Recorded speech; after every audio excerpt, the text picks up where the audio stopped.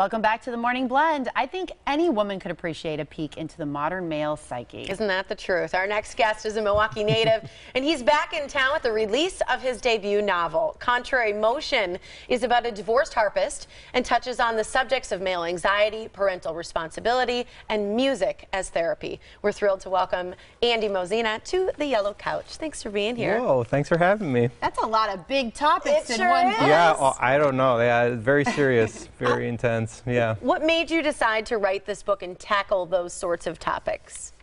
Um, well, I got interested in writing about a harpist. Um, my mother works uh, at a hospice. She's a hospice nurse. My wife is a harpist. And my mother sent me a photo of uh, somebody playing bedside, a bedside vigil for a dying person. And she thought this was very moving. And I thought, wow, that's interesting. I didn't know they did that.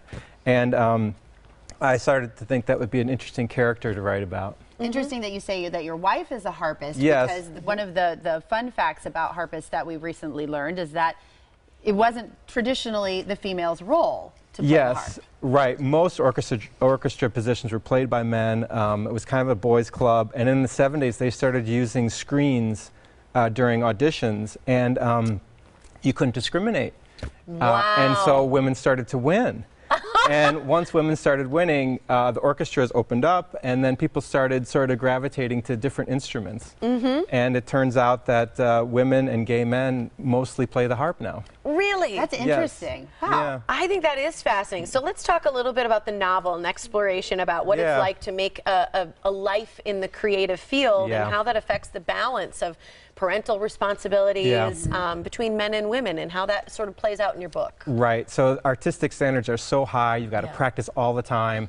And then you've got a daughter, and you've got a, a wife or an ex-wife, or, or a, you're in a relationship. Mm-hmm. And so it's just that it's that tug of war. And the harp for this particular character is sort of a very, I mean, it's a very important, almost a character in and of itself. Yes, totally. It's a relationship Yes, with this harp. yes, right? Absolutely. It would be difficult in a marriage. Yes, exactly. You know? you love your harp more than me, you know, that sort Right, of that thing. kind of thing. Yeah, yeah, Yeah. exactly. And you got to be devoted to it. I mean, uh, like I said, the standards are super high, so you got to you got to do it, but you got to honor your relationship. So conflict, trouble, novel. Right. You know? Tell us a little bit more about the character, the main character in your book. Um, well, he is. Um, he's getting up there. He's getting into his 30s, and he's sort of desperate to make it. So he's very anxious. Um, he wants to achieve and be successful, and he's uh, divorced, and he's trying a new relationship, and so he's struggling on a bunch of levels. Uh, his father passes early on, so it's like this big pile of problems, and he's got to focus and prepare for the audition. Mm. Mm-hmm. That's such a, an interesting time period in a person's mm-hmm. life too, because there's so much transition that happens. Yes, then. totally. It's almost like adulthood sets in, and you realize, okay, I gotta, I gotta do this, or I'm not gonna do this. Yeah, it now or never. Yeah. Totally. Yes. Right.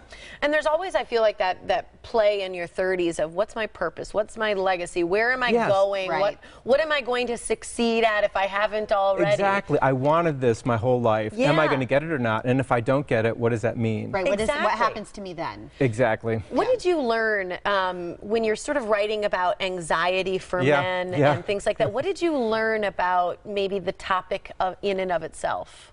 Well, I mean, it's not something that men generally talk about. I mean, it's something that I thought I could explore in a novel. It's not something my friends and I sit So you around. didn't have conversations about it. Not really. It was sort of like imagining my way into this particular person Yeah. and knowing that everybody struggles with stuff guys, women, everybody struggles. Mm-hmm. And sort of trying to play off of that and heightening things to make it dramatic for the novel. How much of this character is you? You know, I always think it's fascinating how much of themselves, in some sort of way, an author puts into a character. I think you put little bits. Yeah. You put little bits and then you exaggerate or you change things. I'm not a musician. I've never played an instrument. So all that got imported. I've never taken an audition.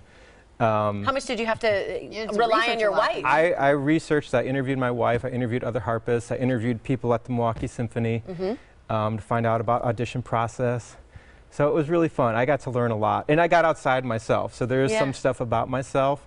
And then there's stuff that I could imagine for this character, and that's part of the fun of writing writing a story. Did he start talking to you?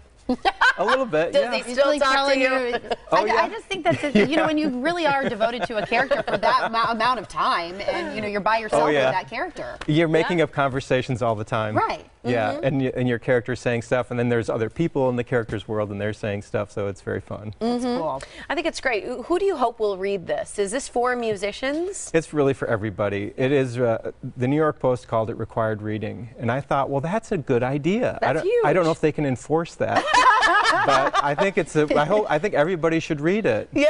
Yeah. Do you have any other fun facts or tidbits about harpists that we should know? Um, harpists are very meticulous. They're super detail oriented, and uh, I won't say that they're high strung because that would be terrible. Very funny. No, it's not. It's, I, it was wrong. I'm sorry. I'm sorry I did that to your show. You can you can edit that away. It's fine. We're live. Sorry, Andy. Oh, okay. Oh, I should be panicking more. Yeah, you I should didn't- have some more anxiety so that you can write about it. I'll, I'll write something about somebody who's very anxious on a talk show later on. Think, will that be your you next go. character? Maybe. You can interview us. Yeah. We'll, we'll give you all kinds of tips. Excellent. I love it. So people can come out and meet you tonight. Um, You're going to do a reading, uh, the book launch here in Milwaukee, a signing at Boswell Book Company. Contrary Motion is the name of the book. Hey, it's required reading. You have, to, It's a go. must. Yeah. It's a must read. Must read. Seven o'clock. Read and sign tonight. Again, Boswell Book, or visit andymozina.com for more information. Thanks cool. for being here. Cool, thank Appreciate you. it.